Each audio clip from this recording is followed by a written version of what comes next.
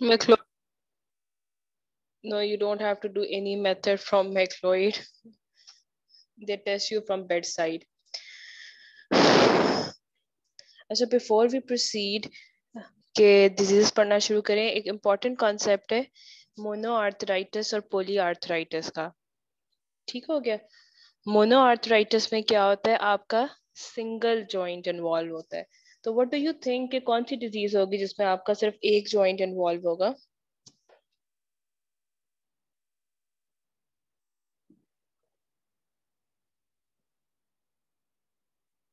ऐसी क्या डिजीजेस में एक जॉइंट इन्वॉल्व होगा आर्थराइटिस में?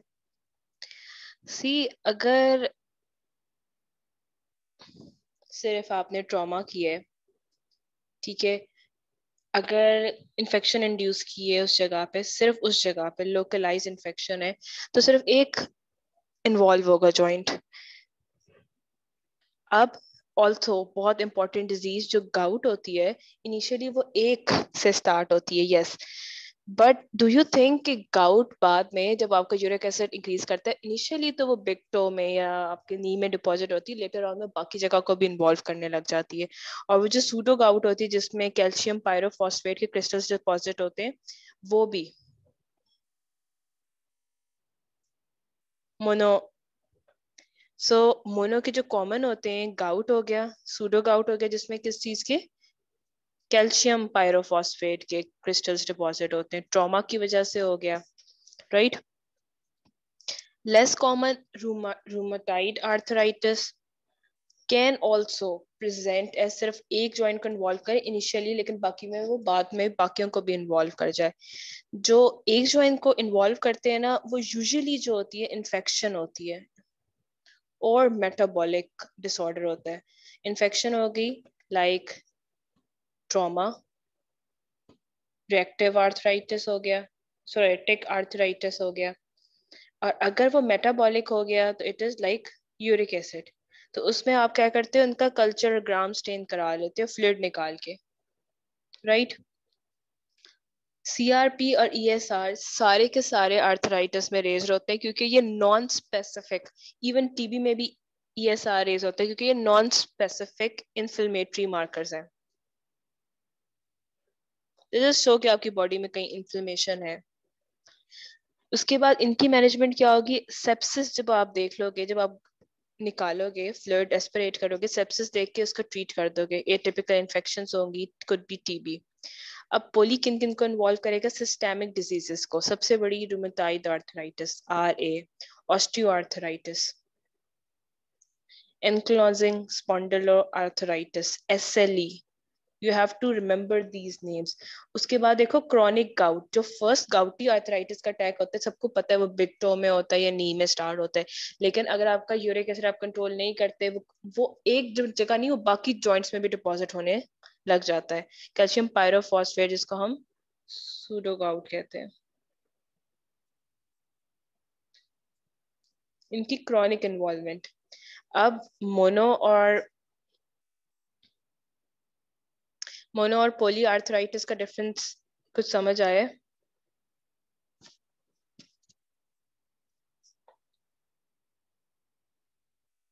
जी गेट मोनो और पोली आर्थराइटिस का डिफरेंस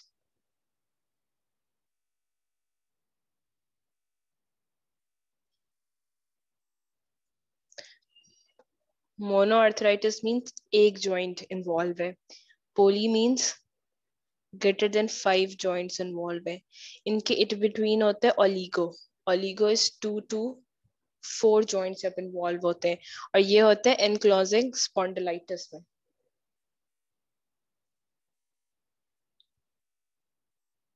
Right right? उसके बाद जब आपको मोनो और, और पोली का कॉन्सेप्ट आ गया there is there are some tables you need to do एक दे आस्क यू कि अगर सीपी के लेवल रेज है तो what it could be CP के लेवल जो है again non specific serum creatinine phosphokinase है नॉन स्पेसिफिक इंफ्लेमेटरी मार्कर्स है. देखो, साथ जैसे ही वो मेस्कुलर डिस्ट्रोफीज में मायोसाइटिस में इंक्रीज है ट्रॉमा में इंक्रीज है एक्सरसाइज में इंक्रीज है, वो सेम टाइम पे मायोकार्डियल इन्फार्शन में भी इंक्रीज है. So you can not base your diagnosis अगर सीपी के रेज है उस पर ई एस आर रेज्ड है CRP रेज्ड है सीपी के रेज्ड है. What do these show? अगर मैंने किसी की सिरोलॉजी करवाई और ये सारे तीनों रेज आ गए, और सिरोलॉजी का मीनिंग क्या होता है? जो मैं कह रही हूँ, मैंने सिरोलॉजी कराई एक बंदे की, उसने मुझे कहा कि मेरे इसके घुटनों में दर्द हो रहा है सिरोलॉजी कराई, मैंने सीपी के रेज आ गए ईएसआर रेज आ गया सीआरपी रेज आ गया। इन्फ्लेमेशन है, ठीक हो गया। But do they specifically show कि मुझे कोई डायग्नोसिस की तरफ़ लेके जा रहे हैं ये?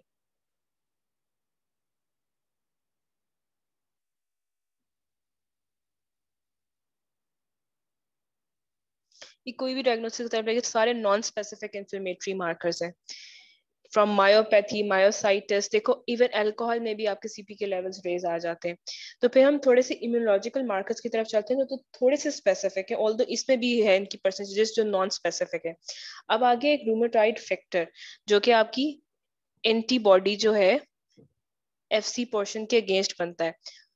ये rheumatoid factor as the name show किस डिज़ीज़ में पॉजिटिव आना चाहिए?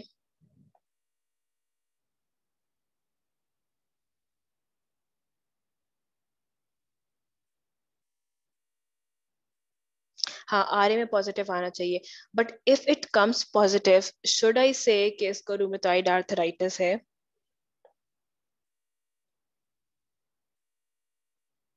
आई से अगर मैंने किसी का टेस्ट करवाया रूमेटॉइड फैक्टर का और उसका आ गया पॉजिटिव तो शुड से कि उसको रूमेटॉइड आर्थराइटिस है? अच्छा the girl is saying no why again ये भी नॉन स्पेसिफिक है. ऑल द रूमेटाइड आर्थराइटिस के 100 परसेंट पेशेंट में ये कॉमन है. ये टेबल देखो. ये सर्जर्न डिज़ीज़ में प्राइमरी बिलरी कॉलेंजाइटिस में इन्फेक्टिव एंडोकार्डाइटिस एसएलई में टीबी में ग्रेटर देन 65 इयर्स में भी पॉजिटिव आ जाता है. So again it makes it non specific वो बार बार जब रूमेटाइड आर्थराइटिस का क्वेश्चन देते हैं दे आस्ट यू कि कौन सा वाला टेस्ट कराओगे जिससे कंफर्म हो जाएगा? उसमें हमेशा एंटीसिट्रुलेटेड पेप्टाइड एंटीबॉडीज चूज़ करना है। और एक और वो एमसीक्यू पूछते हैं, इसको इसी इसी वक्त मार्क कर लो कि रूमेटॉइड फैक्टर्स में आईजीएम होती है जी होती है ए होती है। तो जो हम टेस्ट कराते हैं, उसमें हम रूमेटॉइड फैक्टर के अगेंस्ट आईजीएम एंटीबॉडी कर रहे होते हैं। दूसरा कि 70 परसेंट ऑफ़ द टाइम्स और इवन जहाँ नीचे टेबल में लिखा hundred percent of times rheumatoid arthritis में पॉजिटिव आ रहा है बट स्टिल नॉट स्पेसिफिक अच्छा अब ये एंटी सिट्रुलेटेड पेप्टाइड एंटीबॉडीज क्या है, जो कि बहुत स्पेसिफिक है रूमेटाइड ये पॉजिटिव आ जाए तो हंड्रेड परसेंट आपका डायग्नोसिस ठीक है। अच्छा सिट्रुलेटेड एंटीबॉडीज में क्या है, जो आपका आर्जरीन अमाइनो एसिड था, वो सिट्रुलिन में कन्वर्ट हो जाता है। ये जो यूरिया साइकिल था। ठीक है? ये साइनोवियम में मिलता है आपको आर्जीन से सिटुलेटेड प्रोटीन्स इसके अगेंस्ट जो होती है ना एंटीबॉडीज बन रही होती हैं। दिस इज़ स्पेसिफिक मार्कर उसके बाद आ जाता है एक एंटी न्यूक्लियर एंटीबॉडीज अभी हम आज एस e करेंगे। क्वेश्चन रिपीटेडली कम्स और ये वाई में पूछा जाएगा। एस e का वर्कअप बता दो। जब किसी चीज़ का वर्कअप बोलते हैं तो इसमें क्या लिखना होता है? जब आपसे पूछा है कि can you please tell me workup for S L patient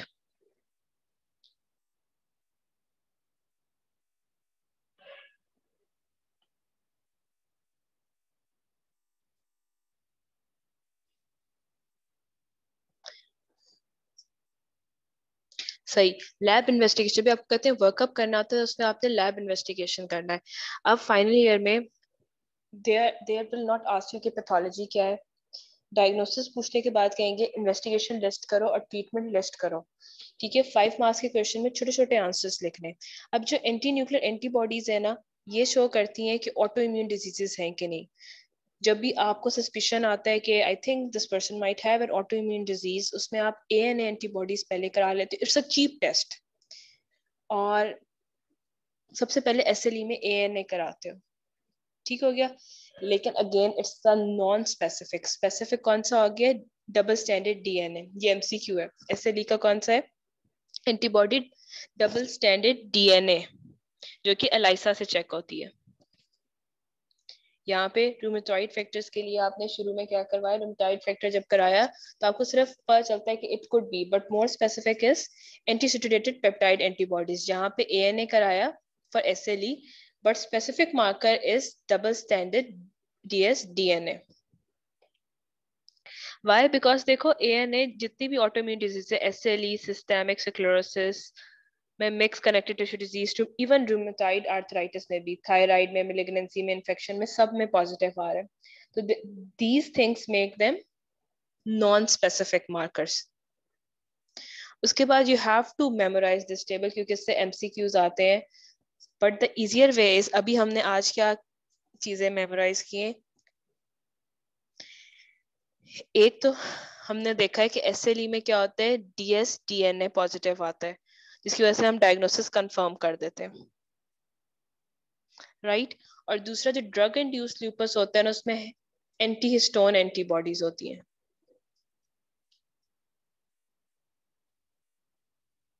बाकी भी slowly slowly we will memorize के किसमें क्या क्या करना है। एक और बात एस e में क्या होता है? कॉम्प्लीमेंट लेवल जो होते हैं, वो डिक्रीज हो जाते हैं। जब आप सी थ्री मैया कराते हो तो वो डिक्रीज हो जाते हैं। क्योंकि सारी इंफॉर्मेशन जो है आपकी बॉडी में एक्स्ट्रा आर्टिकुलर सिर्फ़ जॉइंट्स इन्वॉल्व नहीं बॉडी में बाकी मैनिफेस्टेशन भी आ रही है, उनकी तरफ़ सारे जगह होते हैं। अब अगर हम रिवाइज करें तो फ़र्स्ट पिक्चर जो है ना, वो रूमेटाइड आर्थराइटिस की है। इसमें क्या होता है? स्पेयर हो जाती है। जो सबसे ज़्यादा डिस्टल होती है ना, इन जॉइंट्स पे। जो रेड है, वो डिज़ीज़ शो कर रही है और जो बाकी जो ब्राउन कलर की है ना, वो नॉन डिज़ीज़ है। तो रूमेटोराइटिस में जो सबसे ज़्यादा डिस्टल होते हैं वो स्पेयर्ड होते हैं। उसके बाद सेकेंड थर्ड करना था हाँ। एक्सियल स्पॉन्डिलाइटिस में as the name show axial में क्या होता है? आपकी स्पाइन में पेन होता है। Patient complains of spine pain और डी जो है ऑस्टियोआर्थराइटिस में। इसमें देखा कि प्रोक्सिमल स्पेयर्ड है और डिस्टल वाले रेड हुए हैं। ठीक है प्रोक्सिमल स्पेयर है और डिस्टल वाले रेड हुए हैं। ऑल्सो ये भी कहते हैं कि कमर में दर्द हो रही है ऑस्टियो वाले। They are associated with old age stop me और आस्क मी टू रिवाइज जो समझ ना आया, अब एस एल ई करने लगे।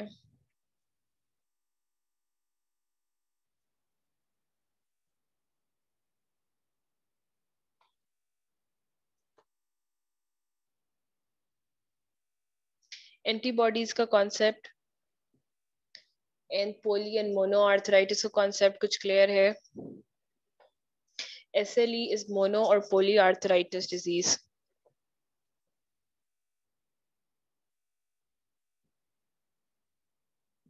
Is SLE a mono or polyarthritis disease?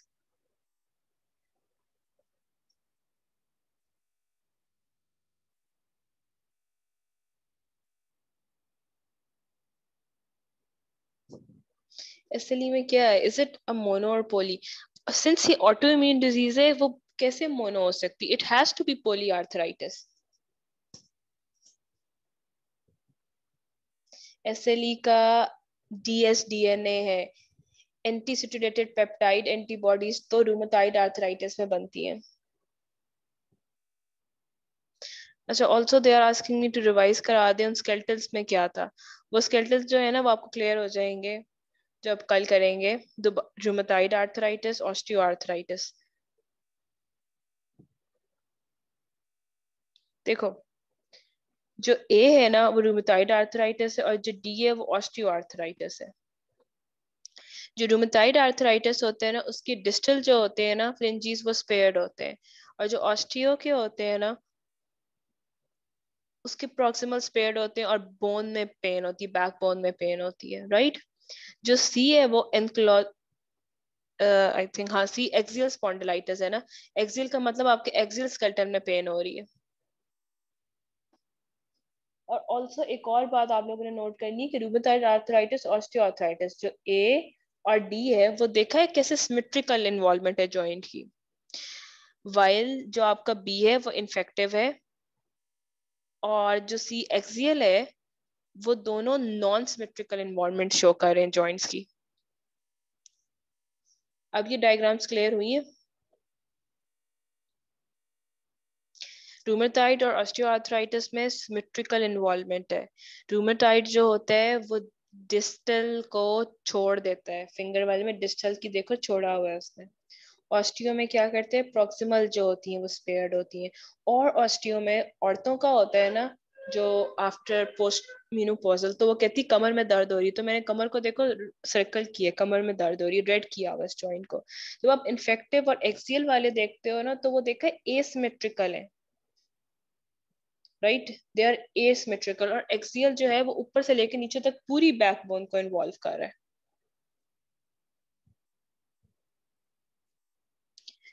हमें ये क्यों पता होना चाहिए कि वो पोली आर्थराइटिस है, कौन से जॉइंट को इन्वॉल्व कर रहा है? क्योंकि जो हमारे मार्कर्स है, वो नॉन स्पेसिफिक है।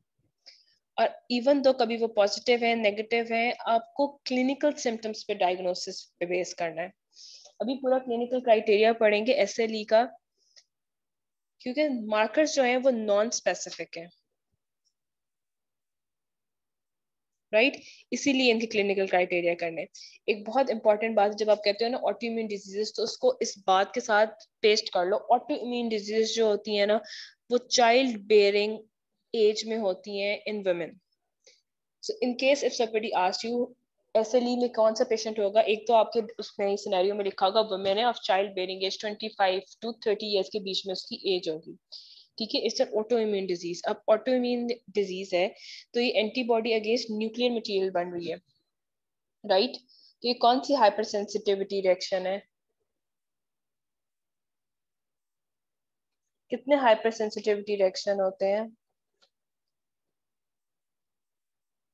How many hypersensitivity reactions do we have? अच्छा इनको hypersensitive reactions को ना एसिड से याद रखना होता है ए सी आई डी जो आप एस एल ई होता है ना, वो टाइप थ्री होता है।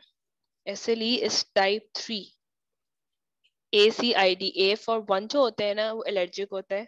यूजली आपको एलर्जी हो रही होती could be penicillin could be latex gloves type two जो होता है, उसमें एंटीबॉडीज बनती हैं against a specific substance in body और वो डिपॉजिट होकर टॉक्सिक मटेरियल हो जाती है कुछ पैस्चर सिंड्रोम में हिमोलिटिक एनीमियाज में।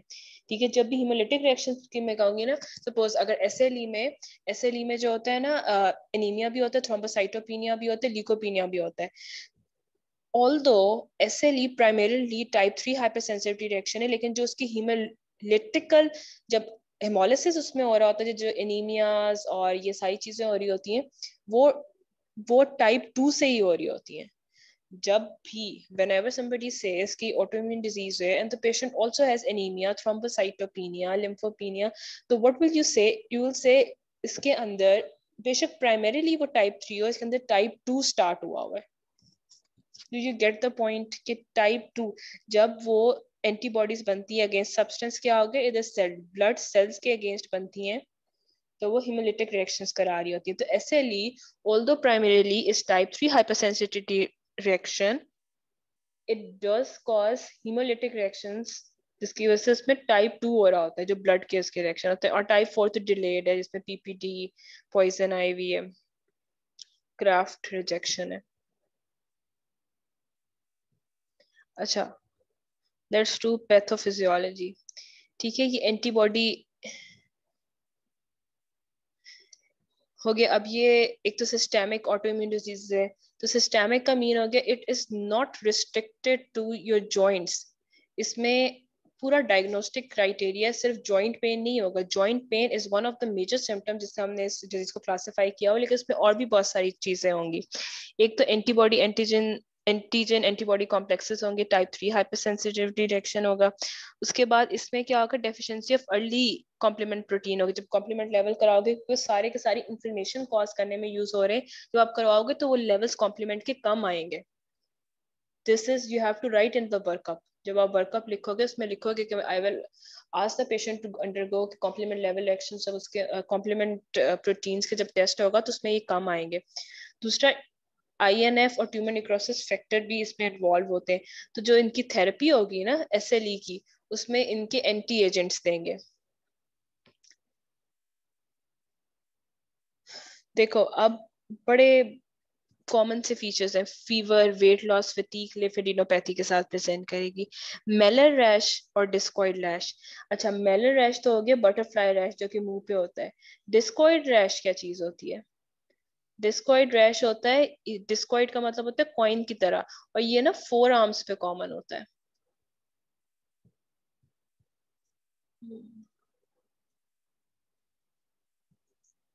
ये ना फोर आर्म्स पे कॉमन होता है। ये देखो, ये फोर आर्म्स पे डिस्कॉइड लैश पड़े हुए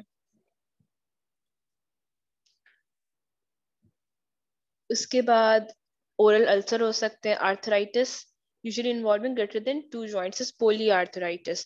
उसके बाद अगर वो प्लूरम इन्फ्लेमेशन स्टार्ट होगी सीरोसाइटिस होगा ब्रेन के सिम्टम्स भी हो सकते साइकोसिस भी हो सकता है स्ट्रोक भी हो सकता है। रीनल डैमेज होता है और देयर इज़ एन एमसीक्यू और वो इवन यू यूक्यूज में भी पूछते हैं कि हमें बताएँ एस e में अगर पेशेंट की डेथ होती है तो किससे होती है? तो इसमें आपने लिखना है रीनल डैमेज जो होता है रीनल कॉम्प्लिकेशन होती है are the primary cause of death right? Renal injuries are the primarily cause of death. और इसके बाद देखो टाइप टू रिएक्शन उसने लिखा है सेंसिटिविटी एनीमिया थ्रोम्बोसाइटोपेनिया और ल्यूकोपेनिया अब Libman Sacks endocarditis what is Libman Sacks endocarditis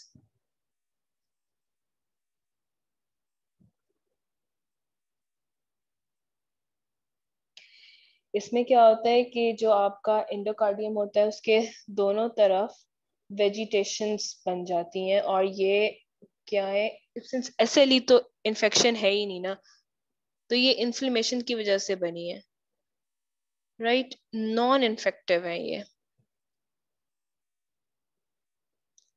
अगर ये नॉन इन्फेक्टिव है तो ये बनी कैसे है? जो हार्ट के वॉल्स पे ये बन गई हैं वेजिटेशंस ये कैसे बनी है? यहाँ पे तो इन्फेक्शन है ही नहीं। ये नॉन इन्फेक्टिव है तो कैसे बनी है ये? क्या मेथड था इनका? अच्छा लेट मी एक्सप्लेन इसका मेथड क्या था। एसएलई में ना हाइपर कोगुलेबल स्टेट हो जाती है। देर इसके अंदर एस एल ई में एक ल्यूपस एंटी कोगुलेंट होता है। एंटीबॉडीज लूपस की जो होती है ना एंटी एंटी फॉस्फोलिपिड एंटीबॉडीज बनती हैं लूपस एंटीकोगुलेंट जो आपका पीटी एलिवेट कर देता है। जब ये एलिवेट करता है तो इस पे ये थ्रोम्बस बनना शुरू हो जाते हैं। ये थ्रोम्बस जो है ना, आगे मूव करके इवन स्ट्रोक तक कॉज करा देंगे। हाइपर कोएगुलेबल स्टेट हो गई, जो आपकी कोगुलेशन प्रोफ़ाइल है, उसको डिरेंज कर देंगे ये एंटीबॉडीज राइट उसने लिखा हुआ है कि ए आप करते हो इनिशियली ठीक है?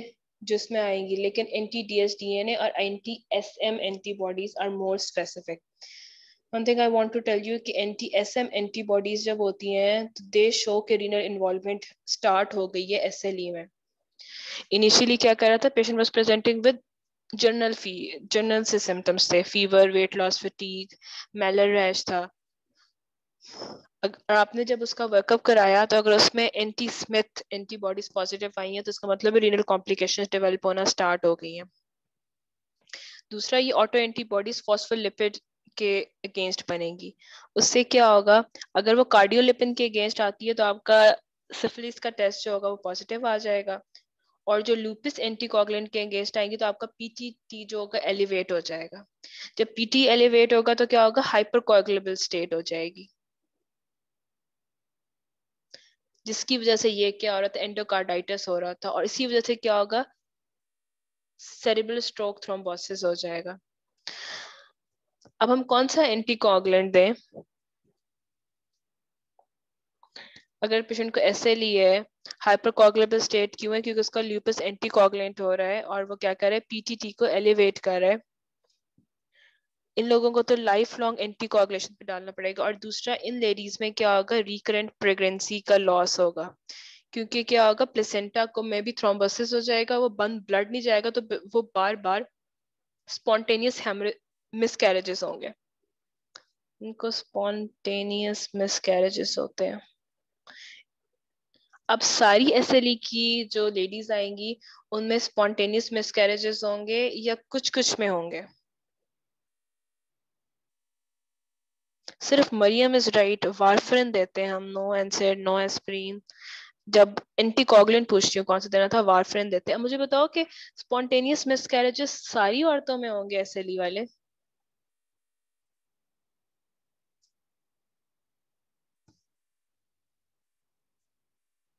नहीं, वो सिर्फ़ सारी में नहीं होंगे, जिनमें जो हाइपरकॉगलेबल स्टेट हो जिसमें ल्यूपस एंटीकॉगलेंट होगा, उनमें सिर्फ़ होगा। Right right? उनमें सिर्फ़ होगा।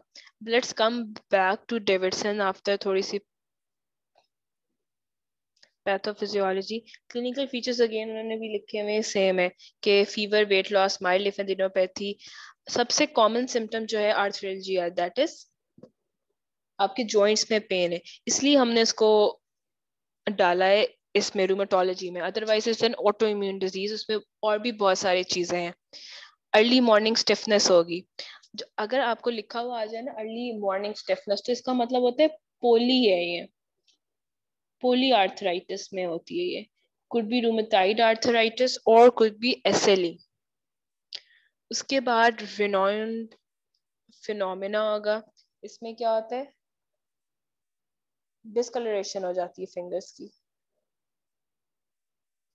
I added somewhere here Renault phenomena. Yeah, Renault's yeah, Renault's phenomena में क्या होता है? Finger becomes white due to lack of blood flow and then blue when vessel dilate and then red return. इसमें वेजोस्पेसम हो रहा होता है in response to cold stress emotional upset primary disease में किसी में भी हो सकता है सेकेंडरी डिज़ीज़ में क्या होता है ड्यू टू ऑटोम्यून कंडीशन जो ऑलरेडी अंडरगो कर रही होती है, जैसे यहाँ पे सेकेंडरी रेनॉट्स फिनोमेना होगा। अब स्किन में क्या होता है, एक तो क्लासिकल बटरफ्लाई रैश आता है दिस इज़ बटरफ्लाई रैश इस रैश की ना एक स्पेशल बात ये है पेन इसकी स्पेशल बात ये है कि ये ना नेजोलेबियल फोल्ड ये वाले जो होते हैं ना, इन पे नहीं होता, इनको स्पेयर करता है। स्पेयर्स नेजोलेबियल फोल्ड उसके बाद कॉइन लाइक जो होंगे रैश है, जो मैंने कहा फोर आर्म पे होगा। उसके बाद रेटिकेलिया इरप्शन होती हैं, जैसे आपको स्पाइडर काट जाती है, पूरी बॉडी पे, ऐसे करके स्किन ऊपर की तरफ़ थोड़ी थोड़ी निकल आती है। और लिविडो रेटिकुलरिस दिखाती हूँ, ये किसमें होता है? एंटी फॉस्फोलिपिड सिंड्रोम में होता है, ये लिविडो रेटिकुलरिस ये। Livedo reticularis network like pattern होता है reddish blue discolouration swollen blood vessels का ये लिविडो रेटिकुलरिस है। ये कौन से वाले में होता है? ओनली इन जब एंटी फॉस्फोलिपिड सिंड्रोम और फॉस्फोलिपिड के खिलाफ एंटीबॉडीज बन जाती है। अब किडनी के सिम्टम्स में क्या है? हैवी हिमेचूरिया प्रोटीन जूरिया और they are cast in microscopy cardiovascular में आपको बता दिए कि मायोकार्डाइटिस और लिबमेंट सेकेंडोकार्डाइटिस इसमें वेजिटेशन हो रही है। वेजिटेशन क्यों हो रही है? Because there is I'm going to highlight this hypercoagulable state है एंटी फॉस्फोलिपिड एंटीबॉडीज की वजह से। Right right? इनमें एथ्रोसिक्लोरिसिस भी हो सकता है, इनमें स्ट्रोक हो सकता है स्ट्रोक्स और एम भी हो सकता है। इनको हमने वारफरिन देनी है लाइफ लॉन्ग और साथ में स्टेरॉइड थेरेपी भी देनी है। अच्छा most common cause of death in S L E patient जब रीनल कॉम्प्लिकेशन डेवलप करेगी और सेकेंड जो है most common cause of death in S L E patient is आपकी पल्मोनरी कॉम्प्लिकेशंस ठीक है? Risk of thromboembolism pulmonary fibrosis neurological में आपको fatigue headache poor concentration haematological जितनी भी आपकी आ रही न्यूट्रोपीनिया लिम्फोपीनिया थ्रोम्बोसाइटोपिनिया की हो रही है टाइप टू हाइपरसेंसिटिविटी की वजह से। जीआईटी में जो है आपके माउथ में अल्सर्स हैं बट नॉट पेनफुल अब वर्कअप आ गया ये। Workup is university question workup में आपने पहले उसने कहा है कि आपने क्लिनिकल क्राइटेरिया को फुलफिल करना है। ऐसे नहीं करना कि मैंने ए कराने शुरू कर देना एंटीबॉडीज कराने शुरू कर देनी। मैंने कोई भी उसने लिखा है before you proceed towards any serological test, you have to fulfill clinical criteria. This is clinical criteria. This is very important. They will ask you number of time clinical criteria बताएँ मुझे। clinical criteria में लिखा हुआ है, अगर four out of eleven features आते हैं, then you will think about it कि SLE है। अगर मेरे एक पेशेंट में फाइव सिम्टम्स आ रहे हैं एस एल के पेशेंट में, अब उसके पहले सिम्टम्स कर लो। मेलर रैश होगा मेलर जो रैश है बटरफ्लाई रैश है नेजोलेबियल फोल्ड्स में वो नहीं है। डिस्कॉइड रैश है, इसके डिस्कॉइड रैश का मतलब है कॉइन लाइक जो रैश है फोर आर्म्स पे। राइट? ये था डिस्कॉइड रैश आगे आ गया फ़ोटो सेंसिटिविटी है। रैश हो जाते हैं जैसे ही वो सन में जाते हैं। ओरल अल्सर्स है मुँह के अंदर। जॉइंट्स में टू और मोर में पेन हो रही है। पोली वाला है, ये पोली आर्थराइटिस की डिज़ीज़ है। सीरोसाइटिस क्या है? प्लूरल रब है। रीनल डिसऑर्डर में प्रोटीन जूरिया आ गया कास्ट आ गई। राइट न्यूरोलॉजिकल डिज़ीज़ में कंफ्यूजन है सीजर्स हैं। हीमेटोलॉजिकल डिसऑर्डर्स में पीनियाज आ गए सारे। Right immunological disorder immunological criteria क्या है? Anti anti DNA antibodies anti Smith anti phospholipid positive आ गई एएनए पॉजिटिव आ गई। ठीक है, इस तरह से। अब इसको मेमोराइज कैसे करना है? इस क्राइटेरिया को मेमोराइज कैसे करना है? इट हैज़ लॉट इसको ऐसे मेमोराइज करना है। Dopamine rash discoid rash oral ulcers photosensitivity arthritis malar rash immunological criteria में D S D N S anti Smith protein which shores renal complication health developed in S L E anti phospholipid में start हो जाएगी आपकी coagulation profile डीने जो आ जाएगी। Neurological symptom में seizure simple confusion renal disease A N S serositis haematological abnormalities right उसके बाद again there is a revision एक एक और एमसीक्यू आता है कि जो लिबमैन सैक एंडोकार्डाइटिस है, उसमें नॉन इन्फेक्शियस रजिस्ट्रेशन किस वॉल्व पे होती है और रीजन क्या होती है? एंटी फॉस्फोलिपिड सिंड्रोम स्टार्ट हो जाता है, एक तो ये रीजन होती है उसमें, कौन सी एंटीबॉडीज ल्यूपस एंटीकोगुलेंट होता है, जो कि आपके पीटीटी को डिस्टर्ब कर रहा होता है। दूसरा माइटल वेल्व पे बन रही होती है। उसके बाद how does S L E gives V D R L in R P R जो कि सिफिलिस का टेस्ट है पॉजिटिव क्योंकि एस एल ई में क्या होती है? एंटी कार्डियोलिपिन एंटीबॉडीज बन रही होती है। उसके बाद एस एल ई में जैसे मॉर्निंग स्टेफनेस है, वैसे रूमोटाइड आर्थराइटिस है। रूमोटाइड आर्थराइटिस में भी सिस्टमिक फीचर्स दोनों को डिफरेंशिएट ऐसे करते हैं कि एस एल ई में ना ऐसी कोई चीज़ नहीं होती स्पान नेक डिफॉर्मिटीज जो हम पढ़ेंगे बोनेट नेक जो कि फिंगर्स आपकी खराब हो रही होती हैं। रूमोटाइड आर्थराइटिस में हो रही होती है। एस एल ई में ऐसी कोई चीज़ हमने नहीं पढ़ी।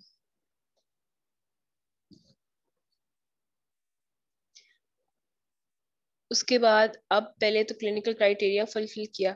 उसके बाद हमने करवाना चुकी है A N antibodies extractable nuclear antigens right anti D S D N जो है मोस्ट स्पेसिफिक है लाइसेंस जो हमने चेक करना है लो लेवल जब हम सी थ्री के लेवल्स कॉम्प्लीमेंट चेक करवाएँगे तो वो लो आएँगे। ये सारा रेस्ड आएगा लिकोपीनिया लिम्फोमा लिम्फोपीनियाज और लिकोपीनियाज अब मैनेजमेंट इसकी क्या होगी? मैनेजमेंट के प्रिंसिपल अवॉइड सन करना है। बट इज़ इट पॉसिबल कि अवॉइड सन करें? इनको हम एस पी एफ़ फैक्टर्स लिख के देंगे, जो कि सन प्रोटेक्शन फैक्टर सनस्क्रीन होते हैं। उसके बाद सारी ऑटोमीन डिज़ीज़ को हम इम्यून सप्रेशन से ट्रीट करते हैं स्टेराइड से। दूसरे इम्यूनोसप्रेशन कौन से होते हैं? एक तो इम्यूनोसप्रेशन में मानती हूँ कि स्टेराइड होते हैं। दूसरे इम्यूनोसप्रेशन कौन से होते हैं?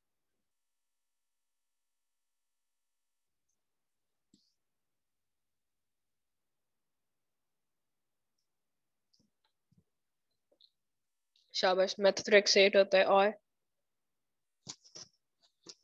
अच्छा कोई आइडिया है अगर मैं किसी को मेथोट्रेक्सेट लिख के दूँ? तो मुझे क्या करना होगा? क्या प्रिकॉशन होते हैं जब मैं एजोथाइप्रीन वेरी गुड अब बताओ मैं किसी को साइक्लोफॉस्फोरामाइड वेरी गुड ना मुझे बताओ अगर मैं किसी को मेथोट्रेक्सेट और एजोथाइप्रीन लिख के दे रही हूँ तो मैंने फॉलो अप में क्या करना है? ऐसी क्या है चीज़ जो मुझे अपने माइंड में रखनी चाहिए? एक तो फॉलिक एसिड है, दूसरा। इनकी ना सीबीसी और एलएफटी आप टू वीक्स बाद रिपीट कराओगे राइट अगर प्रोफ़ाइल डिरेंज होने लगती है उनकी सीबीसी की और एल की तो आप उनको विड्रॉ कर लेते हो। आप उनको विड्रॉ कर लेते हो।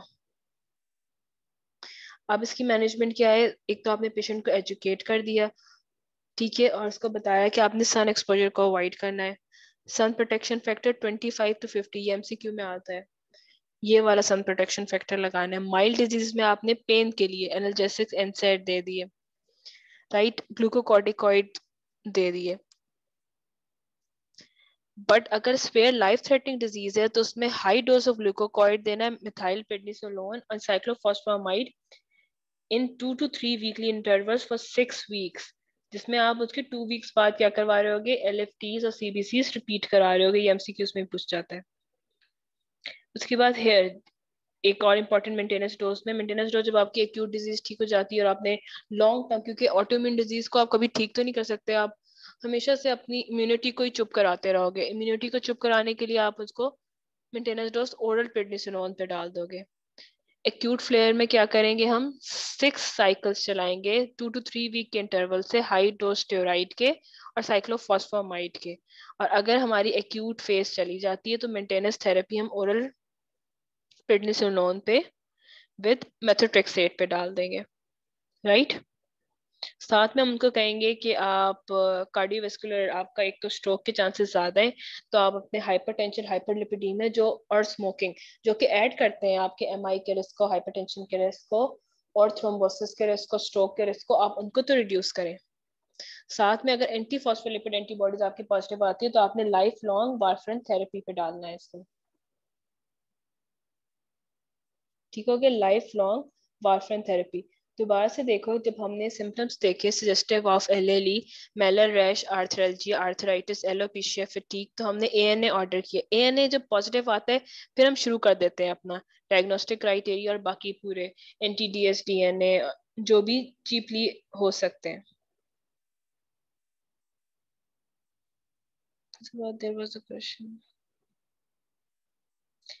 हाँ मुझे ये क्वेश्चन बताओ, इसका क्या आंसर है?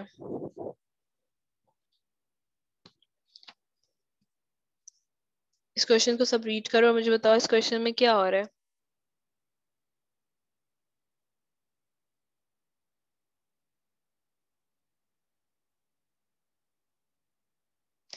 Thirty five year old women आई है, ठीक है चाइल्ड बेरिंग एज है इसकी जब चाइल्ड बेरिंग एज होती है तो auto immune diseases with confusion lasting one day. Her family friend just she did not know how to come home from work.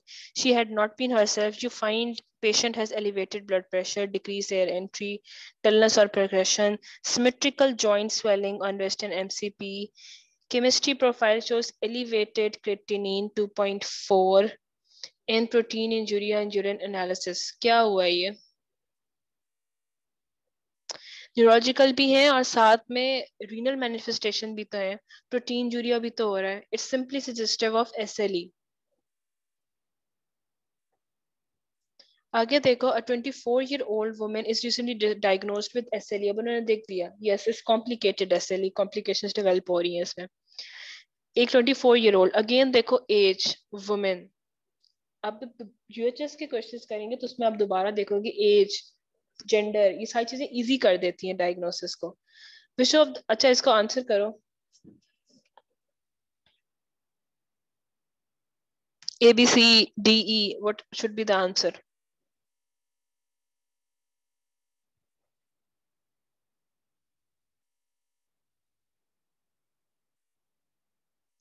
अब the disease has no cure obviously autoimmune disease i've been saying this again and again autoimmune disease को आप कैसे cure कर सकते हो आप सिर्फ चुप करा सकते हो अपनी इम्यूनिटी को पेशेंट शुड यूज सनस्क्रीन जेस क्योंकि उसको रैश पड़ जाते हैं patient has higher than normal chances of abortion why why does she has more chances of abortion if she becomes pregnant ऐसा क्या चीज हो गई है इसके अंदर इसकी क्या है? पीटीटी जो है एलिवेटेड है ल्यूपिस एंटीकॉगलेंट की वजह से। इसकी हाइपरकॉगलेबल स्टेट है। प्लेसेंटा में क्या हो जाएगा?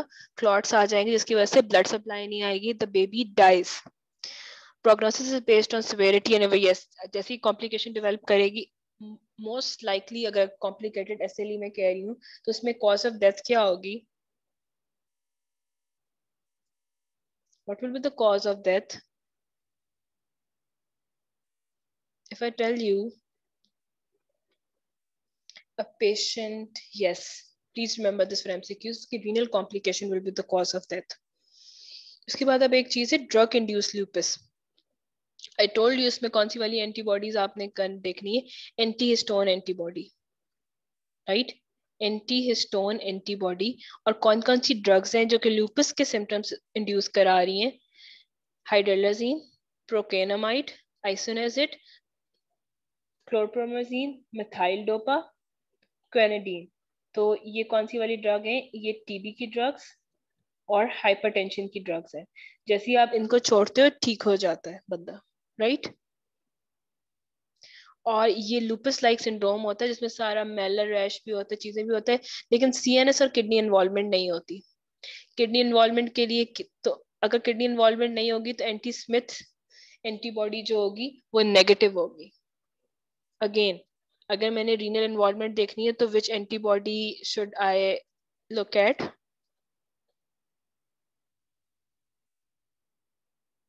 अगर मैंने एस एल ई में रीनल इन्वॉल्वमेंट देखनी है तो which antibody should I check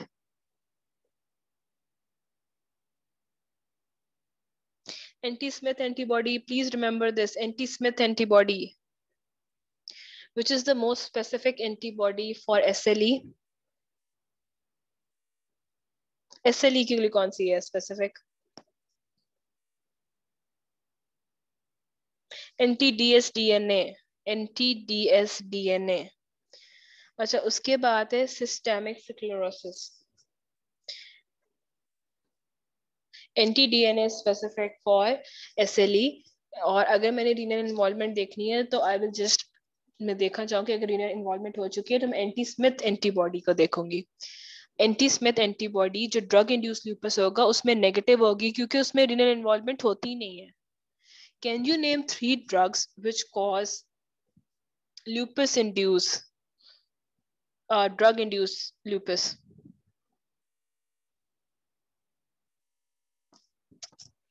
can you name five drug shabash isoniazid hydrolazine एक और बताओ और procainamide very good procainamide is used to treat arrhythmias तो आपके arrhythmias hypertensive antiarrhythmic anti-tuberculous methyl dopa hypertension की है अच्छा अब सिस्टेमिक स्क्लेरोसिस क्या होता है again it's an auto autoimmune disease autoimmune disease में क्या होता है? कनेक्टिव टिश्यू ओवर एक्ट करके क्या कर रहा है? फाइब्रोसिस करा रहा है। फाइब्रोब्लास्ट जो है, इसकी एक्टिवेशन ज़्यादा होगी कॉलेजन डिपोजिशन इंक्रीज हो गई है।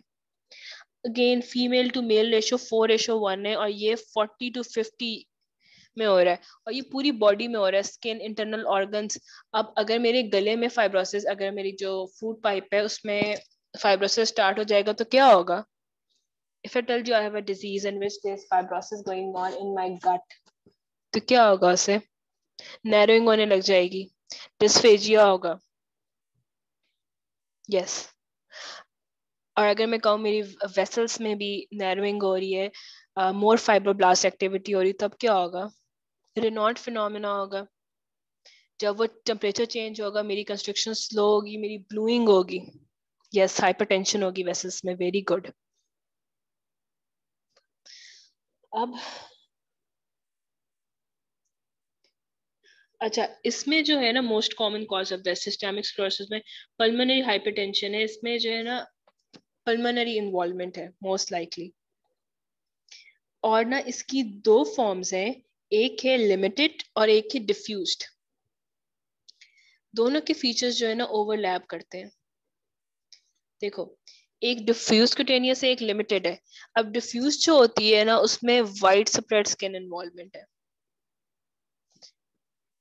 ठीक है, उसमें वाइट स्प्रेड स्किन इन्वॉल्वमेंट है और विसरा जो है, अंदर जो है, मैंने जीआईटी का एक्सप्लेन किया लंग्स का।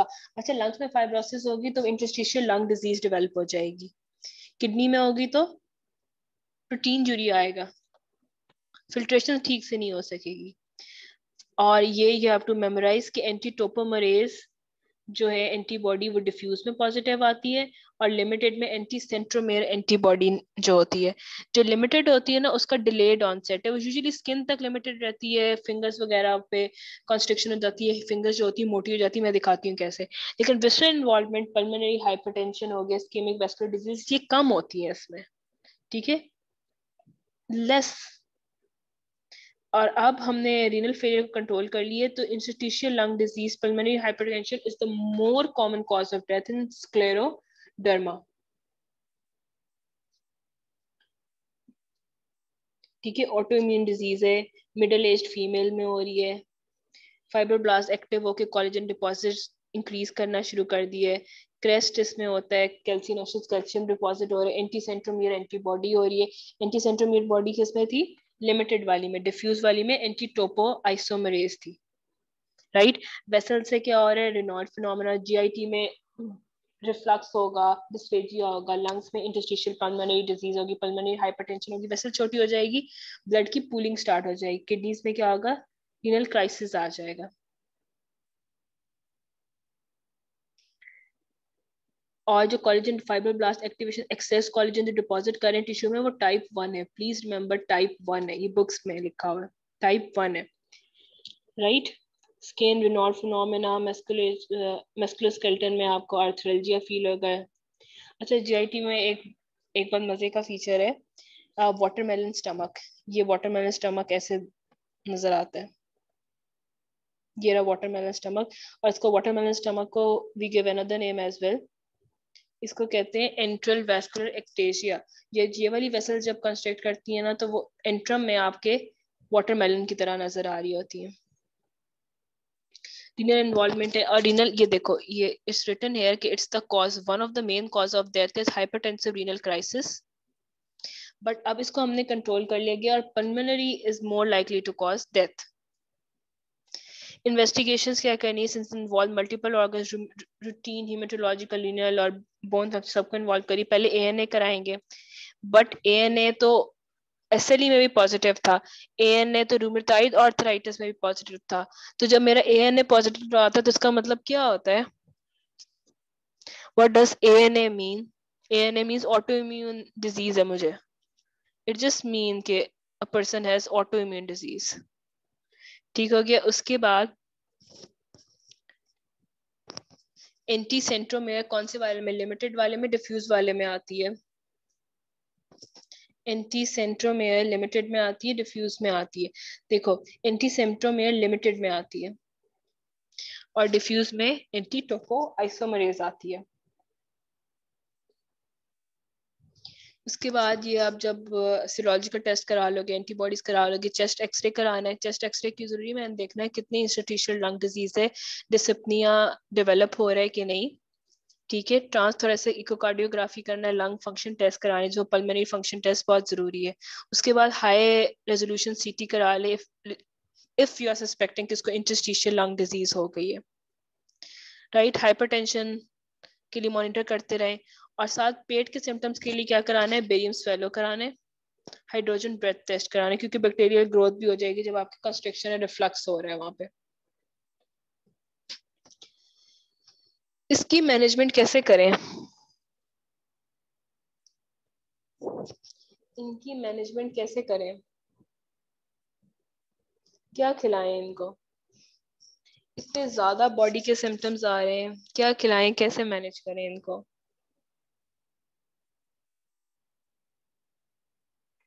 इनको मैंने जैसे करना है, जो रिनॉल्ड फिनोमेना है ना, उसमें आप लो सार्टन फ्लॉक्सिटीन और सिडेनाफिल देते हो।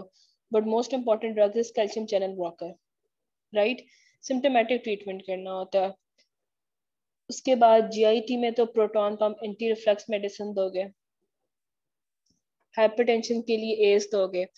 अच्छा अगर कभी लिखा हुआ है कि स्किलर प्रेजेंट कर रहा है crisis crisis even if creatinine is raised तब भी आप एस इनहिबिटर्स दोगे।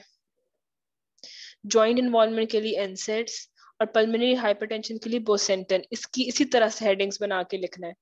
For GIT I will give proton pump and anti reflux medication for Raynaud calcium channel blockers losartan for hypertension, i will, hypertensive or renal disorders ace inhibitors, joint के लिए NSAIDs pulmonary hypertension के लिए बो सेंटेन interstitial lung disease के लिए ग्लूकोकोइड देते हैं with cyclophosphamide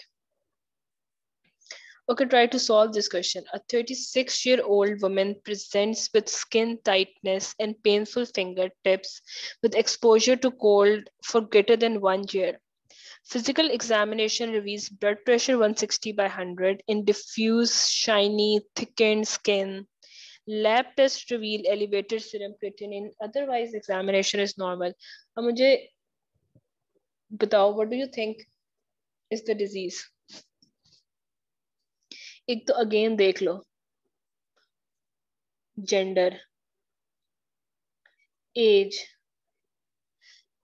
उसके बाद एक्सपोजर टू पे ये कौन सा हो गया? रेनाउंड फिनोमेना हो गया। अच्छा मैंने अब इसका डायग्नोसिस जब मैं लिखूँगी, मैं सिर्फ़ रेनॉल्ड फिनोमेना क्यों नहीं लिख देती? स्क्लेरोडर्मा क्यों लिखना है?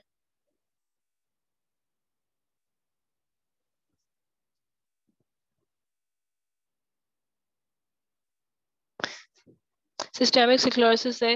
हाउ डू यू नो एक तो तुम लोग देखो कि इसमें क्या हो रहा है कि हाइपरटेंशन हो रही है। अगर सिंपल रेनॉल्ड फिनोमेना होता, जिसको चिल ब्लेंस भी कहते हैं, जब सर्दी में आपकी टोस रेड हो जाती हैं तो उसमें ब्लड प्रेशर तो बिल्कुल ठीक होता है। उसमें आपकी किडनी में क्रिटिन रीनल एंड मैनिफेस्टेशन क्यों आ रही है? ये हाइपरटेंशन क्यों आ रही है? इस क्लेरोडर्मा इसका आंसर रीनल इन्वॉल्वमेंट भी है सिस्टेमिक वेसल इन्वॉल्वमेंट भी है। ब्लड प्रेशर को नहीं छोड़ो उसकी इन्वॉल्वमेंट भी है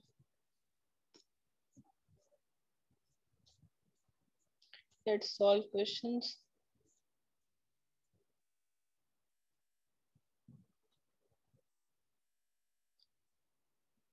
okay a 28 year old female 28 female swelling bluish discoloration of fingers on exposure to cold her investigation show hemoglobin 8 hemoglobin normal कितना होता है females में कितना level हो तो हम कहते हैं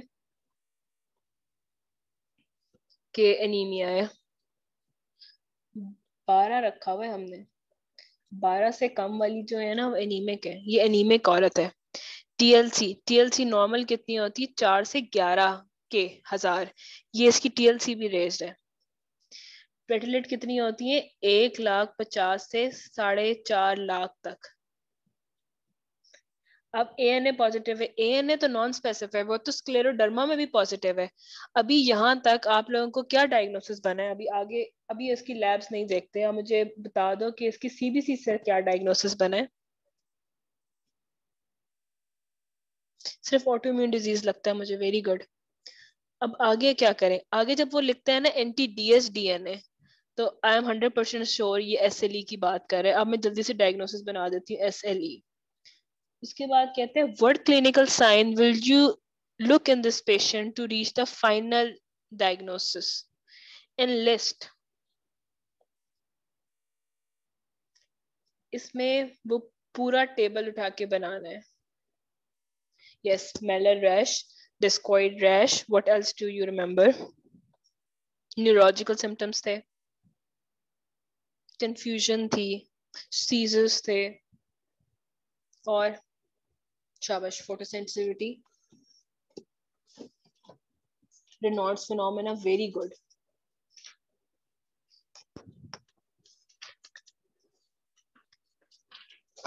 joint pain joint pain oral ulcers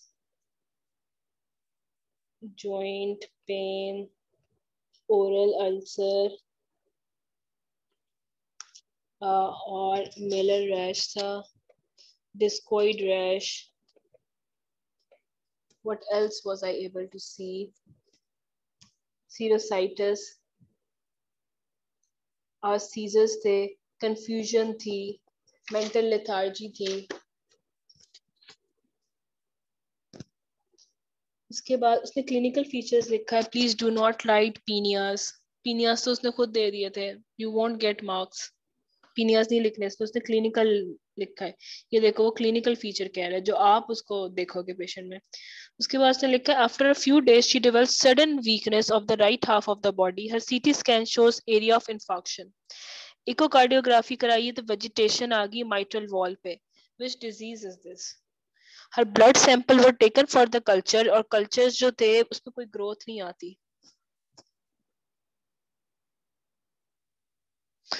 अच्छा अब what complication has she developed complication कौन सी है ये?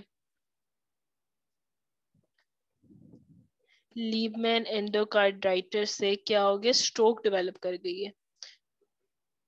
राइट? अब which two drugs two drugs बताओ। एक तो वारफिन मैंने बताया दूसरी ड्रग कौन सी दोगे?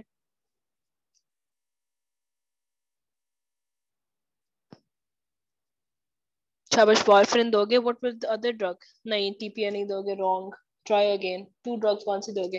देखो, ये जो उसने कॉम्प्लिकेशन डेवलप की है ना, नहीं लो मोलिकुलर वेट हेपरिन जो कह रहा है, वो गलत कह रहा है। देखो, मैंने जो कहा कि एस एल ई में कॉम्प्लिकेशन तब डेवलप करती है जब फ्लेयर आता है डिज़ीज़ का, ठीक है? एक्यूट स्वेयर डिज़ीज़ होगी ना तो आप इसको स्टेराइड हाई डोज स्टेराइड दोगे राइट हाई डोज स्टेराइड के साथ क्या चीज़ दोगे? वारफरिन के साथ क्या दोगे? वारफरिन हाई डोज स्टेराइड दो, ताकि उसकी डिज़ीज़ और कोई मैनिफेस्टेशन डेवलप ना करे, साथ वारफरिन दोगे। देखो, यहाँ पे कहीं डोज लिखनी है, कुछ करना है, वो आपसे सिर्फ़ टू ड्रग्स के नेम कह रहे हैं। वन ऑफ़ द स्टूडेंट आज के मुझे ये वैल्यूज़ के 25 एम पर बॉडी वेट याद करनी है कि नहीं याद करनी? फरा वेजोडाइलेटिस का कोई रोल नहीं है। आपको हाई डोज स्टेराइड देने पड़ेंगे एस e को जो ओरिजिनल उसका टारगेट को चुप कराने के लिए और वारफ्रिन देना पड़ेगा, क्योंकि ये क्या है लूपस एंटीकोगुलेंट है। हाइपर कोगुलेबिलिटी स्टेट है हाइपर कोगुलेबल स्टेट है ये। आगे देखो आप 25 year old female Laia presents with pain and swelling of small joints along a rash on the face, which becomes itchy and red when she goes out. She has no history of morning stiffness or oral ulcer. What is your most likely diagnosis?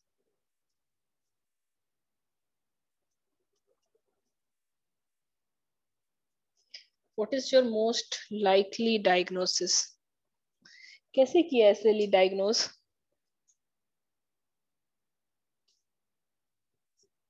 Malar rash जो है बहुत characteristic है and I don't remember any other disease I have done so far जिसमें malar rash आता तो मेरा तो Mailer rash से ही हो जाता था डायग्नोसिस अच्छा what investigation will you confirm diagnosis ये अच्छा खासा बड़ा क्वेश्चन है। इसमें क्या लिखोगे?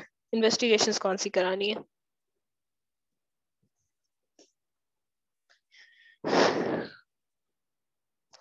इसमें आप लोग क्राइटेरिया लिखोगे पूरा। Right right? क्राइटेरिया लिखोगे, जो क्लिनिकल क्राइटेरिया उसके बाद कहोगे कि मैं ए एन ए पे जाऊँगे, ठीक है? ए एन ए कराने के बाद anti D S D N A to check renal involvement we do anti Smith antibodies E S R कराएँगे तो वो रेज आएगा और सीबीसी की रिपोर्ट में तीनों ब्लड लाइंस डिप्रेस होंगी। पूरा लिखोगे लिम्फोपीनिया ल्यूकोपीनिया थ्रोम्बोसाइटोपिनिया और एनीमिया राइट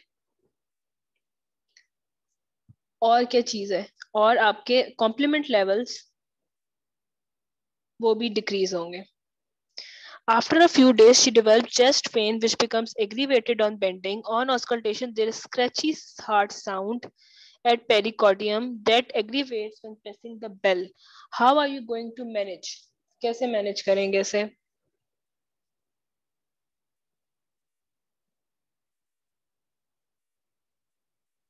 अच्छा there is a girl saying कि हम इसको एस एल ई नहीं बनाते, उन्होंने लिखा है ओरल अल्सर्स नहीं है। वेट अ सेकेंड मुझे दोबारा इसके क्वेश्चन को देखो, उसको कहती है कि इसको ओरल अल्सर नहीं है। तो क्या करें अब? She says, let's not make it SLE because she does not have oral ulcer. देखो, उसने आपको 14 क्राइटेरिया 11 क्राइटेरिया दिए थे जिसमें से फोर आपने फुलफिल करने थे। 11 आउट ऑफ़ फोर क्राइटेरिया तो उसमें हर किसी को तो हो सकता है मेलर रैश भी उसमें लिखा हुआ ट्वेंटी परसेंट होगा। मेलर रैश भी ना हो। किसी को हो सकता है ज्वाइंट पेन ना हो। उस पूरे क्राइटेरिया में से हर किसी को नहीं होंगी। और देखा है कि स्क्लेरोडर्मा के में भी रिनॉट फिनोमिना इसमें भी फिनोमिना है। वो मैच करते हैं। ए एन ए दोनों में पॉजिटिव आ रहा है। तो बड़े ट्रिकी से है उनको देख के करना है। Four out of eleven four out of eleven हर किसी में नहीं होंगे सेम किसी में न्यूरोलॉजिकल सिम्टम्स कभी होंगे ही नहीं। और बहुत सारी एस एल ई की पेशेंट्स गेट प्रेग्नेंट उनमें कोई रिकरेंट लॉस नहीं होता, क्योंकि सिर्फ़ ट्वेंटी परसेंट में वो है एंटीफॉस्फोलिपिड वाला मामला, बाकियों में नहीं है, वो बिल्कुल प्रेग्नेंट होती हैं, ऐसा कुछ नहीं है। लेकिन कुछ में रिकरेंट अबॉर्शन होते हैं, उनको डीवीटीज डेवलप हो जाती हैं टांगों में। अच्छा उसके बाद अब क्या हुआ अब कौन सी कॉम्प्लिकेशन डेवलप होगी पेरिकॉर्डियम में? पेरिकार्डाइटिस हो गया ये। अब पेरिकार्डाइटिस को कैसे ठीक करोगे? इसमें cytotoxic drug azathioprine cyclophosphamide with corticosteroid करोगे। साथ में मैंने आप लोगों को बताया था सीबीसी और आरएफटी से मॉनिटर करोगे। ये लिखनी है पूरी लाइन के now the patient has developed SLE की कॉम्प्लिकेशन जब एसएलई की complication spare life threatening disease हो रही है तो हम क्या करते हैं? High dose glucocorticoid with cyclophosphamide चलाते थे two to three weekly interval for six cycle right साथ ही साथ हम उनके टेस्ट करा के मॉनिटर भी कर रहे होते थे कि सीबीसीज और आर ठीक है? सीबीसीज और आर करके आफ्टर टू वीक्स मॉनिटर कर रहे होते थे कि डैमेज तो नहीं हो रहा। इस तरह से लिखना है। आगे देखो a young women seen in OPD with six month history of fever arthralgia weight loss ये बिल्कुल बुक की लाइन है कि नॉन स्पेसिफिक सिम्टम के साथ आती है। She is pale blood pressure ज़्यादा है 150 बाय 110 बटरफ्लाई रैश हो गया। पेरी ऑर्बिटल पफिनेस होगी। What does peri orbital puffiness show और पिटिंग एडीमा उसकी किडनी इन्वॉल्वमेंट है। इट शोज़ किडनी इन्वॉल्वमेंट अच्छा उसको कोई आर्थराइटिस नहीं है। अब आप लोग कहोगे कि आर्थराइटिस नहीं है, भाई उसने लिखा हुआ चार में से ग्यारह में से सिर्फ़ चार को पिक करना है। इसमें कोई आर्थराइटिस है ही नहीं, लेकिन ऐसे लिए ये। हीमोग्लोबिन 10 है ईएसआर रेज्ड है प्लेटलेट 130 है, थोड़े से डिक्रीज है। प्रोटीन जूरिया आरबीसी का स्टार है चेस्ट में ए एन ए पॉजिटिव आ गया। रूमेटाइड फैक्टर नेगेटिव आ गया रीनल बायोप्सी पे मेमनेरो पेरिफेरटिक ग्लोमेरुलोनेफ्राइटिस है, उसने खुद ही बता दी एसएलई का डायग्नोसिस है। Write down that criteria to diagnose this illness and discuss the patient management patient की मैनेजमेंट क्या है? I am writing care management में क्या लिखना है? मैनेजमेंट में पहला पॉइंट आपने बनाना है काउंसलिंग का। ठीक है काउंसलिंग करना है कि आपकी लाइफ लॉन्ग डिज़ीज़ है, दवाई लेते रहनी है कंटिन्यूसली आपका कभी भी दवाई, ये ये दवाई जो है कंटिन्यूसली आपकी ज़िंदगी पर क्योर नहीं कर सकेगी डिज़ीज़ को। बट हम इम्यून सप्रेशन को यूज़ करके सिम्टम्स को फ्लेयर को रिड्यूस कराएँगे। ठीक है, फिर उसके बाद उसको S P F S P F twenty five से फिफ्टी वाला हम यूज़ करें। उसको बताना है कि आप बाहर नहीं निकलोगे। ये सिनेरियो फरा उसने खुद डायग्नोसिस दिया है। फरा they have given diagnosis themselves उसने खुद डायग्नोसिस दिया, हमसे बनवाया नहीं है। फिर उसके बाद आपने लिखना है माइल्ड टू मॉडरेट हो तो उसमें हम एनर्जेसिक्स स्टेरॉइड्स देते हैं। Right right? स्वेयर में हम आईवी स्टार्ट कर देते हैं आईवी डोज देते हैं। साइक्लोफॉस्फोमाइड की और स्टेरॉइड्स की। मेंटेनेंस पे हम लो डोज पे डाल देते हैं स्टेरॉइड पे। इस तरह से हेडिंग बना के लिखना है। No need of writing dosage साथ ही साथ जब आप लिखोगे, जब हम इम्यूनोसप्रेसेंट देते हैं लाइक साइक्लोफॉस्फोमाइड या एजोथायाप्रीन तो हम सीवीसी आरएफटी से मॉनिटर करते हैं पेशेंट को आफ्टर टू वीक्स के उनके कोई और कॉम्प्लिकेशन तो डेवलप नहीं हो रही। अब देखो a thirty two year old female I history of painless swelling on finger on exposure to cold Raynaud phenomena ये बटरफ्लाई रैश हो गया अब। आईज अराउंड द लिम्स उसके बाद ई एस आर सो है एलिवेटेड हीमोग्लोबिन कम है। उसके बाद 12 डब्ल्यू बी सी है विच इज़ नॉर्मल इसका आंसर बताओ क्या है 32 ईयर ओल्ड का?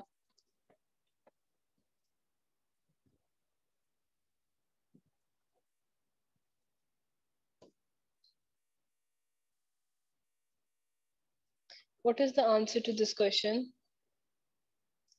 Okay, it's an SLE. ठीक होगा ये SLE है अब for appropriate investigations will you be able to write ये अभी लिखी थी criteria लिखना है ANA लिखना है NT DNA NT Smith to show renal involvement ये ऐसे नहीं लिख देना आगे लिखना है कि मैंने renal involvement check करनी है ये सारे रेज होगा CBC रेज होगा complement level जो होंगे सीबीसी uh, में क्या होगा इनीमिया होगा थ्रोम्बोसाइटोपिनिया होगा और लीकोपीनिया कॉम्प्लीमेंट लेवल्स डिक्रीज होंगे। उसके बाद एनलिस्ट फोर सिस्टेमिक कॉम्प्लिकेशन कितनी देर बताई है। कॉम्प्लिकेशन क्या होंगी? With stroke as a complication M I is also complication what else complication do we have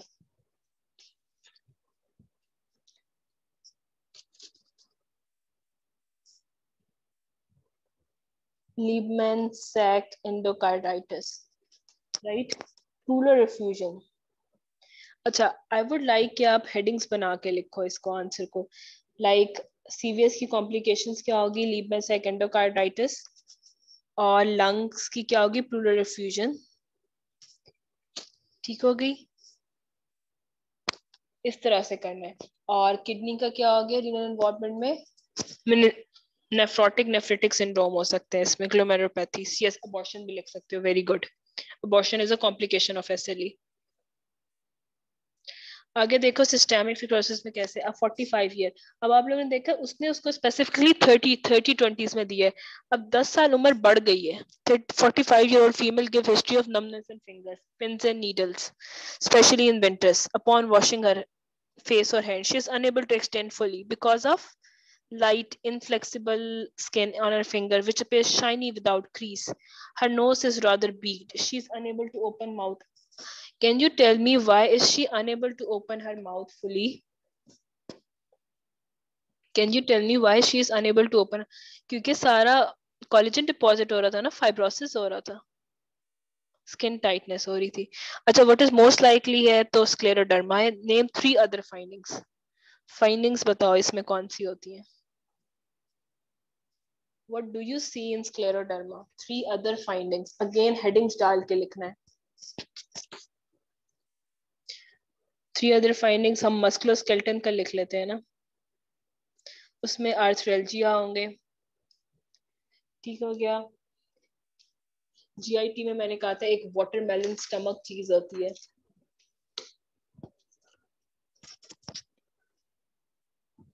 also उसमें क्या हो रहा है? डिस्फेजिया हो रहा है, सबको याद है। डिस्फेजिया सब में कहा था वाटरमेलन स्टमक है। पल्मोनरी में क्या हो रहा था? जो कि कॉज ऑफ़ डेथ थी। राइट डिस्निया था। इंटरस्टिशियल लंग डिज़ीज़ थी। उसके बाद रीनल इन्वॉल्वमेंट में क्या था? हाइपरटेंसिव क्राइसिस हो रहा था। अच्छा स्क्लेरोडर्मा में जो हाइपरटेंसिव क्राइसिस हो रहा था, उसको हम कौन से ड्रग से ट्रीट कर रहे थे? शाबाश एस इनहिबिटर से ट्रीट कर रहे थे। Describe serological test for establishing diagnosis वो कह रहे हैं, इसके कैसे ब्लड टेस्ट बता दो, कौन से कराओगे? सिर्फ़ ब्लड टेस्ट लिखने। स्क्लेरोडर्मा के ब्लड टेस्ट बता दो, वो कह रहे हैं, कौन से कराओगे?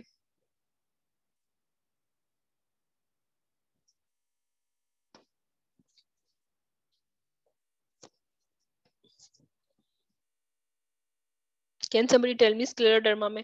देखो स्क्लेरोडर्मा पहले तो आप एएनए कराओगे right right? A N A कराओगे, उसके बाद डिफ्यूज थी और एक लिमिटेड थी। उसमें कौन सी थी?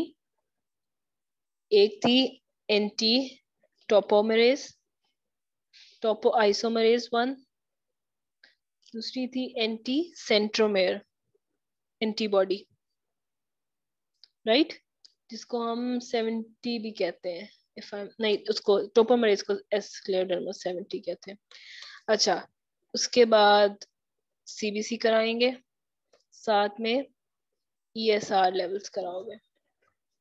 These are the serological investigation you will order उसके बाद आ जाता है फोर्टी ईयर ओल्ड फीमेल किसी को कंफ्यूजन है कि सीरोलॉजिकल का मतलब होता है ब्लड टेस्ट पूछे उसने कौन से कराएँगे।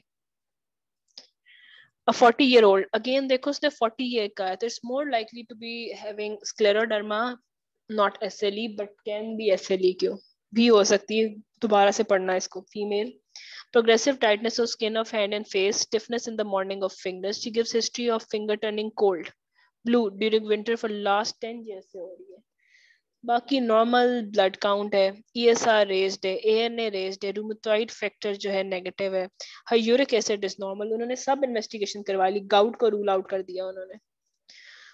उन्होंने बता दिया कि आपको कि ऑटोइम्यून डिज़ीज़ है रूमोटॉइड फैक्टर नेगेटिव है, what is the most likely diagnosis? What is the most likely diagnosis?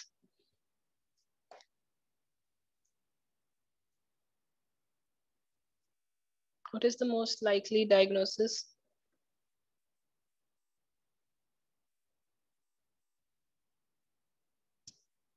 yes scleroderma enumerate one complication of GIT GIT की क्या complication है इसमें नहीं प्लीज़ ऐसा है आपने गलत डायग्नोसिस लिखा है। इसमें रिनॉट्स फिनोमिना नहीं लिखना है इसको स्क्लेरोडर्मा लिखना है। रिनॉट्स फिनोमेना स्क्लेरोडर्मा में सेकेंडरी टू ऑटोइम्यून डिज़ीज़ है। प्लीज़ एक बात क्लियर करो रिनॉट्स फिनोमेना है कि मेरी जो है हाथ ब्लू हो रहे हैं सर्दी में, वो मेरे भी एक दफ़ा हो गए थे। मैंने इवेंट टू कश्मीर उसके बाद मैंने हाथों में ग्लव्स नहीं पहने, बर्फ़ में खेलने के बाद ठंडे हो गए। वो रिनॉट फिनोमिना प्राइमरी था। मुझे कोई ऑटोम्यून डिज़ीज़ नहीं है। जो इसको रिनॉट फिनोमिना हो रहा है, वो सेकेंडरी टू ऑटोम्यून डिज़ीज़ हो रहा है। तो प्लीज़ इसका आंसर रिनॉट फिनोमेना नहीं लिख के आओगे। रिनॉट फिनोमेना इसमें हो रहा है but secondary to an autoimmune disease if I have it I don't have any autoimmune disease तो मुझे क्या होगा? प्राइमरी रिनॉट फिनोमेना होगा। हाँ तो शाबाश ये जीआईटी में लिखना है जर्ड डिस्फेजिया एसोफेजाइटिस ठीक है। पल्मोनरी सिम्टम्स में क्या लिखोगे?